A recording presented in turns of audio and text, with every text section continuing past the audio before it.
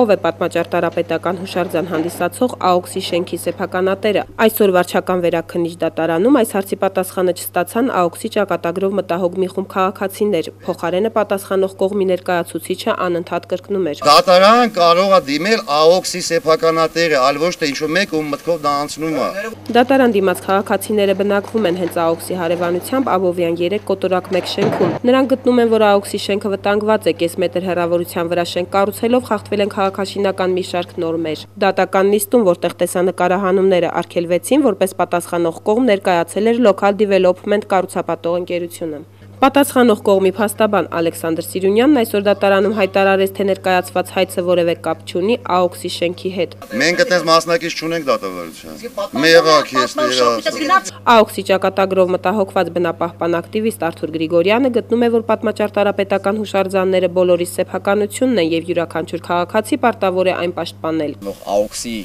հանրապետական նշանակության պատմամշակութային հուշարձանի հետևում կառուցվող այդ հսկայական հյուրանոցային համալիրը կառուցվում է ուղղակի խայտարակ